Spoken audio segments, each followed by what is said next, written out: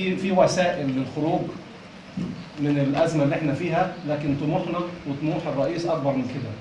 طموحنا إحنا إن إحنا نحط مصر في موقعها الطبيعي. آه، آه، في مشروع أنا أنا متقدم بيه. آه، هو مش بدلا من المشاريع اللي موجودة مع مع الرئيس أو اللي وصلت له ده مجرد تكملة أو إضافة. المشروع ينقسم إلى ثلاثة أقسام. تطوير اقتصاد مصر بأيادي مصرية للمرحلة الأولى. المرحلة الثانية الدخول في تكتلات عربية وأفريقية المرحلة الثالثة مكافحة الاحتباس الحراري الذي سيؤدي إلى ضياع 20% من دلتا النيل بسبب ارتفاع الحرارة وارتفاع مستوى سطح البحر وغرق الأراضي المنخفضة ومنها جزء من دلتا النيل. دول الثلاث مراحل اللي لازم نشتغل عليهم إن شاء الله.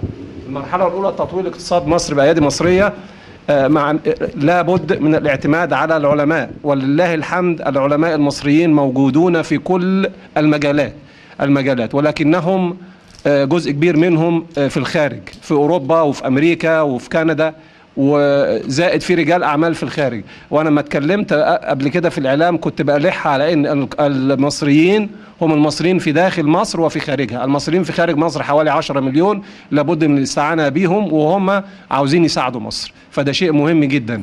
المال اللي موجود بالعملة الصعبة اللي في الخارج يجي من المصريين والعلم اللي موجود في الخارج يجي من المصريين بالإضافة للعلماء الموجودين في داخل البلد. وتكلمت بالفعل مع بعض علماء آه، في في ال الهندسة الزراعية لديهم قدرات على إنه يخلي الفدان يجيب مرة ونص. ولديهم قدرات انه يعمل تقاوي تقاوم الم- الملوحة أو آه، آه، يتم آه، الإنبات في أرض ضعيفة. الأشياء دي في غاية الأهمية. وفي علماء في الطاقة البديلة وعلماء في في الطاقة الحيوية وكل الأشياء اللي إحنا عاوزينها. يبقى لازم وطبعا أنا سعدت لما شفت الرئيس المنتخب بيستدعي علماء ويتحدث معهم بس هذا ليس كافيا. لابد من إنشاء عدد كبير من آه، المراكز العلمية التطبيقية بمعنى إن العلم يطبق على الأرض المصرية. وده جزء من من المشروع بتاعي. لكن الموضوع أنا مش عايز أطول عشان في ناس كتيرة طبعا منتظرين أدوارهم. آه، لكن هحط لمحة بس صغيرة. آه، من أهم المشاريع اللي أنا كنت بدعو إليها هو مشروع آه، ال- ال- الكونغو.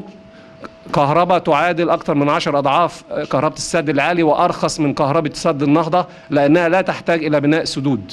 بتحط التوربينات على مساقط المياه فقط. ود- ودولة الكونغو الديمقراطية صديقة لمصر وموافقة على هذه المشاريع. وكنا بنجتمع في جامعة القاهرة الهندسة مجموعة من الناس المتطوعين والعبد لله واحد منهم أمسك الملف الاقتصادي.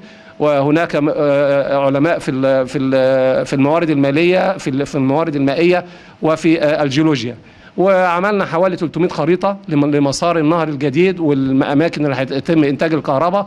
300 خريطة تم تسليمها للقوات المسلحة وبعدها بدأت وزارة الري تعترف بالمشروع. بعد قبلها كانت بتهاجم المشروع. سنتين وكانوا بيهاجموني ويقولوا المشروع ده وهمي. لله الحمد المشروع هينطلق. ال- ال- ال- المهم إن المشكلة عندنا إن عندنا أراضي كتيرة قابلة للزراعة بلا مياه. وهناك في الكونغو عندهم مياه كثيرة تهدر في المحيط ولا توجد أراضي ليزرعوها. بيجي لنا من نهر النيل حوالي 55 ونص مليار متر مكعب. آه، النهر الكونغو بيهدر 1290 مليار. 1290 مليار قارنهم ب 55 بيجولنا نقدر لو خدنا جزء نزرع الأراضي نكتفي ذاتيا ونكون إحنا السلة سلة الأغذية إحنا والسودان سلة الأغذية لباقي أفريقيا. هو ده الطموح. بالإضافة لانتاج كهرباء الكهرباء دي لإنارة أفريقيا لأن أفريقيا تعيش على الشموع وده شيء مهم.